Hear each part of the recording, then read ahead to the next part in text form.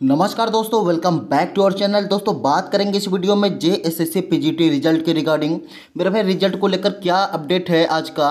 तो इसके बारे में आपको इन्फॉर्मेशन देने वाले हैं तो वीडियो में अंत तक बने रहिएगा। और साथ ही साथ आपको बताएँगे रिज़ल्ट पे तो बात करेंगे ही दोस्तों, और साथ ही साथ बात करेंगे इसके कट ऑफ़ को लेकर, ठीक है? कट ऑफ़ को लेकर भी चर्चा करेंगे, किस तरीके से कट ऑफ़ जो है आपको देखने को मिल सकता है पीजीटी में। कौन से सब्जेक्ट में कितना कट ऑफ़ जा सकता है तो इसके बारे में भी आपको जानकारियाँ देंगे। तो वीडियो मंथ तक बने रहिएगा मेरे भाई। और एक चीज़ और बता दें डॉक्यूमेंट वेरिफिकेशन के लिए जो आपका डीवी होने वाला है, इसके लिए कौन कौन से डॉक्यूमेंट्स आपको लेकर जाने हैं तो इसका जो पीडीएफ है, आप कैसे डाउनलोड कर सकते हैं तो इसके बारे में बताएँगे। कौन कौन से डॉक्यूमेंट्स ऐसे हैं जो आपको अभी से बनवा कर रखने हैं तो इसके बारे में भी चर्चा करेंगे। अब देखिए डॉक्यूमेंट वेरिफिकेशन के लिए डॉक्यूमेंट्स जो आपको बनवाना है, वो पहले से बनवा के रखना है, ठीक है?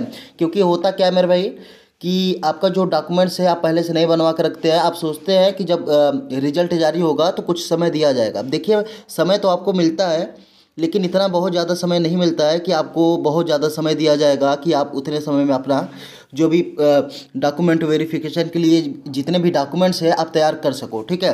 मेरे भाई, कुछ डॉक्यूमेंट्स ऐसे होते हैं, जिनको बनवाने में काफ़ी ज़्यादा समय लग सकता है। तो ऐसे में हम आपको इस वीडियो के माध्यम से बताएँगे कि कौन कौन सा डॉक्यूमेंट्स ऐसा है जो आपको पहले से ही बनवा के रखना है, ठीक है? उस चीज़ पर भी चर्चा करेंगे तो वीडियो में अंत तक बने रहिएगा। मेरे भाई, सारे मुद्दे पर चर्चा करेंगे बिना स्किप किए हुए। वीडियो को पूरा देखिएगा। लाइक वगैरह नहीं किए हैं तो कर दीजिए, और चैनल पर अगर पहली बार विज़िट किए हैं तो सब्सक्राइब ज़रूर कर लें, क्योंकि जितने भी लेटेस्ट अपडेट होते हैं, हम आपको इस चैनल पे प्रोवाइड करते रहते हैं। तो ऐसे में आप हमारे चैनल को सब्सक्राइब कर सकते हैं। तो आइए एक एक करके सारी चीज़ों पर चर्चा करते हैं। तो मेरे भाई, सबसे पहले बात कर लेते हैं हम इसके कट ऑफ़ को लेकर कि आपका जो कट ऑफ़ किस तरीके से देखने को मिल सकता है। तो फिर इसके बाद बताते हैं आपको इसके रिज़ल्ट के बारे में क्या अपडेट है, ठीक है? फिर डॉक्यूमेंट वेरिफिकेशन पे भी बात करेंगे। तो आइए सबसे पहले जान लेते हैं कि इसका जो कट ऑफ़ किस तरीके से देखने को मिल सकता है। तो आइए सबसे पहले इसके बारे में बता देते हैं। भाई, सबसे पहले बात कर लेते हैं संस्कृत के कट ऑफ़ की, कि संस्कृत संस्कृत जो सब्जेक्ट है आपका, उसमें किस तरीके का कट ऑफ़ जो है आपको देखने को मिल सकता है। तो सबसे पहले उस पर चर्चा कर लेते हैं। तो संस्कृत की अगर हम बात करें तो इसमें जो कट ऑफ़ है, किस तरीके से देखने को मिल सकता है? अगर हम बात करें यू आर कैटेगरी की तो अगर आप यू आर कैटेगरी से बिलोंग करते हैं 132 से 135 प्रश्न अगर आपने सही कर दिया है तो आपका हो जाएगा, ठीक है? बी सी टू की अगर हम बात करें तो 122 से 125 प्रश्न अगर आपने सही कर दिया है तो हो जाएगा। बी सी टू की अगर बात करें कि सर बी सी टू में कितना कट ऑफ़ देखने को मिल सकता है तो भैया 125 से 128 प्रश्न अगर आपने सही कर दिया है तो आपका हो जाएगा, ठीक है? एनालिसिस किया गया कट ऑफ़ है मेरे भाई, ऐसा कुछ नहीं है, अगर आपको लगता है कि ऐसा कुछ भी बता दे रहे हैं तो ऐसा कुछ नहीं है एनालिसिस किया गया कट ऑफ़ है। आप देख लीजिए, अगर इतने प्रश्न अगर आपके सही बन रहे हैं तो हो जाएगा।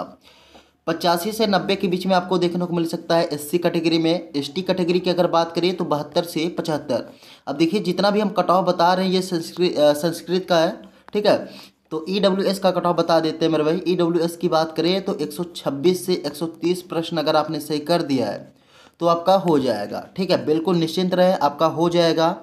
तो ये था भैया संस्कृत का कट ऑफ़ बात कर लेते हैं फिजिक्स की। फिजिक्स सब्जेक्ट जो आपका था भौतिक विज्ञान, ठीक है? इसमें जो आपका कट ऑफ़ है, किस तरीके से देखने को मिल सकता है?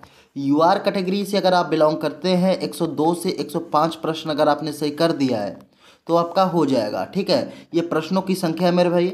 और अगर बात करें बी सी वन की तो चौरानवे से छियानवे अगर आपने प्रश्न सही कर दिया है तो आपका हो जाएगा। बी सी टू की अगर बात करें तो अट्ठानवे से सौ प्रश्न अगर आपने आपने सही कर दिया है तो आपका हो जाएगा, ठीक है? और अगर बात करें एस सी कैटेगरी की तो एस सी कैटेगरी में आपका जो कट ऑफ़ है, बयासी से पचासी तक देखने को मिल सकता है।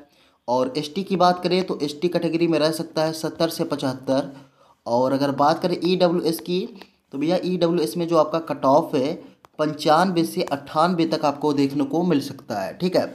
तो कुछ निम्न प्रकार से फिजिक्स का जो कट ऑफ़ है देखने को मिल सकता है।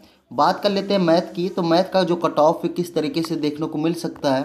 यू आर कैटेगरी की अगर बात करें तो छियानवे से अगर सौ प्रश्न अगर आपने सही कर दिया है, ठीक है? तो आपका हो जाएगा। और बी सी टू की अगर बात करें दोस्तों तो बी सी टू में आपका जो कट ऑफ़ है रह सकता है नब्बे से तिरानवे ठीक है? और अगर बात करें बी सी वन की, कि सर बी सी वन में किस तरीके से रह सकता है तो अट्ठासी से नब्बे अगर प्रश्न आपने सही किया है तो आपका हो जाएगा।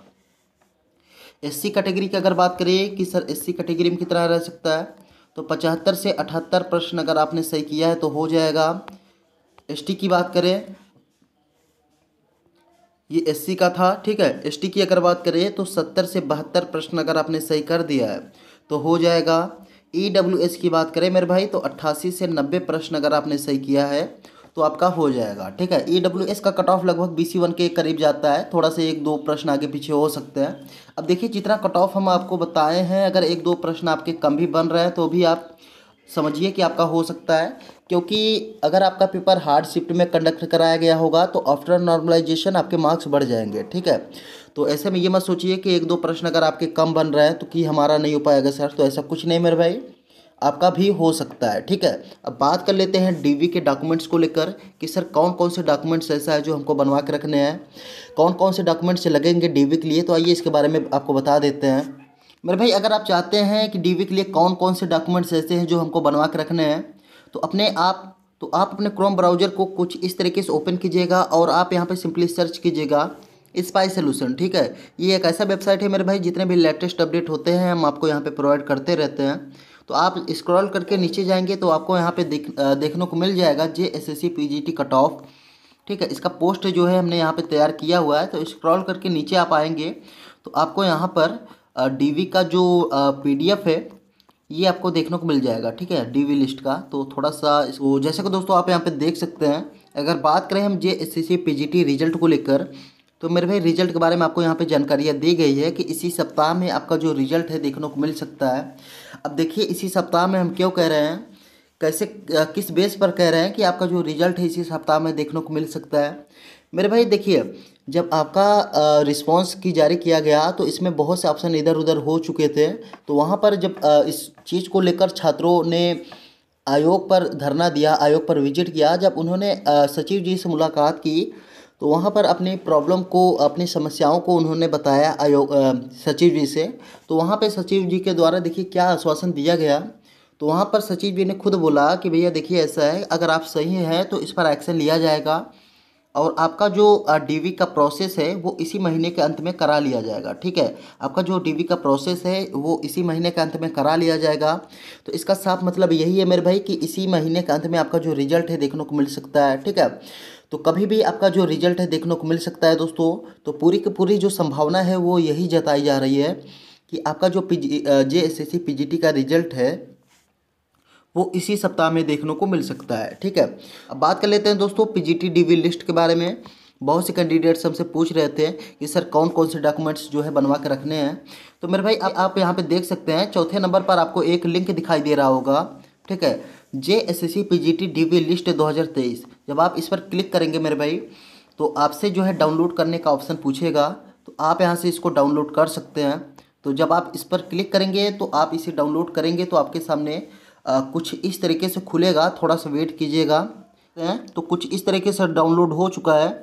आप यहाँ पे देख सकते हैं कि कौन कौन से डॉक्यूमेंट्स हैं जो आपको लेकर जाने हैं मेरे भाई। दूसरा पॉइंट आप यहाँ पे पढ़ सकते हैं ठीक है? तो दूसरा पॉइंट एक बार आपको दिखाते हैं हम।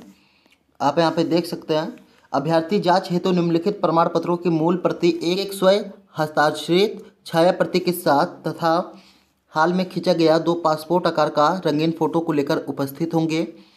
जो अभ्यर्थी पत्रों की जाँच में उपस्थित नहीं होंगे या वांछित प्रमाण पत, पत्र प्रस्तुत नहीं करेंगे उन्हें अलग से समय नहीं दिया जाएगा तथा उ, उनकी उम्मीदवारी समाप्त करने पर आयोग निर, निर्णय जो है ले सकता है। जाँच हेतु वांछित प्रमाण पत्रों की सूची नीचे अंकित है।